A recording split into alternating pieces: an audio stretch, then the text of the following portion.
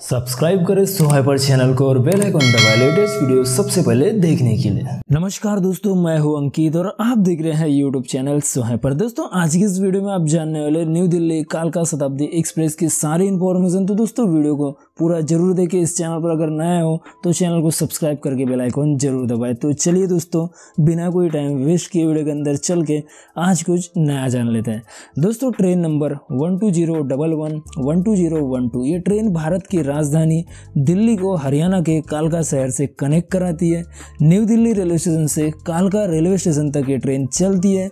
दोस्तों, ये ट्रेन एक सुपरफास्ट एक्सप्रेस ट्रेन है, शताब्दी क्लास की, जो मोस्टली टूरिस्ट इस ट्रेन को यूज़ करते हैं। इस ट्रेन को कालका शताब्दी के नाम से ज़्यादा जानते हैं लोग। नॉर्दर्न रेलवेज इस ट्रेन का ऑपरेटर है और ये ट्रेन न्यू दिल्ली से कालका तक टोटल दो सौ उनहत्तर किलोमीटर का डिस्टेंस ट्रैवल करती है चार घंटे पाँच मिनट में चार स्टॉप्स लेकर। दोस्तों, कालका शताब्दी डेली चलने वाली एक सुपरफास्ट ट्रेन है। दोनों स्टेशनों के बीच कालका शताब्दी में एग्जीक्यूटिव चेयर कार और एसी चेयर कार के कोच लगे होते हैं, जिसमें दो एग्जीक्यूटिव चेयर कार के कोच होते हैं तो वही तेरह एसी चेयर कार के कोच लगे होते हैं। इसमें दो ईओजी कार के भी कोच लगे होते हैं, जो टोटल इस ट्रेन में सत्रह कोच लगे होते हैं।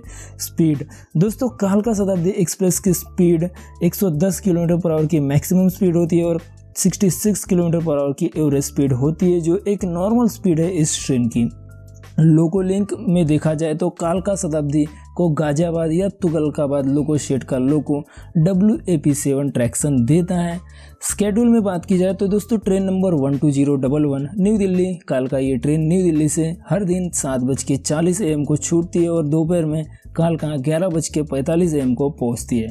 Similarly train number one two zero one two कालका न्यू दिल्ली ये ट्रेन कालका से हर दिन शाम में पाँच बज के पैंतालीस पी को छूटती है और रात में नौ बज के पचपन पी को न्यू दिल्ली पहुँचती है। फेयर दोस्तों, ये एक रेगुलर फेयर है ट्रेन का न्यू दिल्ली से कालका तक का।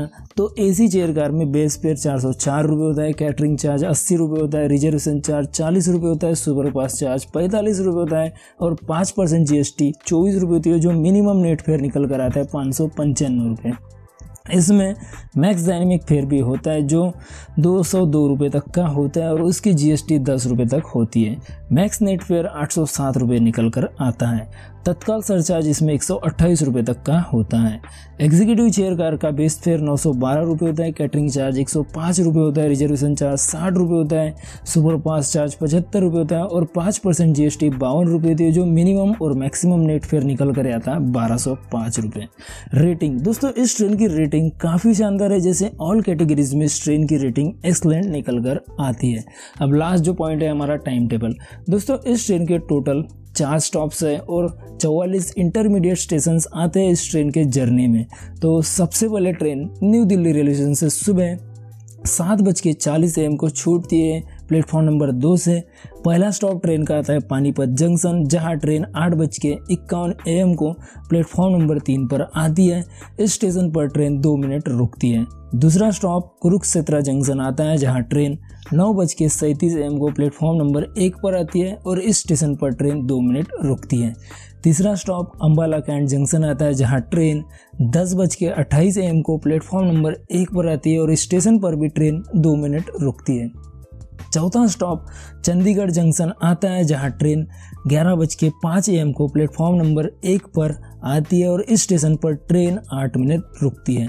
ट्रेन का आखिरी स्टॉप कालका आता है, जहाँ ट्रेन ग्यारह बज के पैंतालीस एम को प्लेटफॉर्म नंबर तीन पर आती है। तो दोस्तों, ये रही सारी जानकारी न्यू दिल्ली कालका शताब्दी एक्सप्रेस की। उम्मीद करता हूँ वीडियो आपको पसंद आई हो। वीडियो कैसी लगी नीचे कमेंट करके ज़रूर बताएँ। और वीडियो पसंद आई हो तो वीडियो को लाइक करें, शेयर करें। और हमारे इस चैनल पर नए हो तो चैनल को सब्सक्राइब करके बेल आइकन ज़रूर दबाएँ। ऐसे ही रेलवे से रिलेटेड वीडियो सबसे पहले देखने के लिए। तो दोस्तों, मिलते हैं अगले वीडियो में। इस वीडियो को देखने के लिए बहुत बहुत धन्यवाद।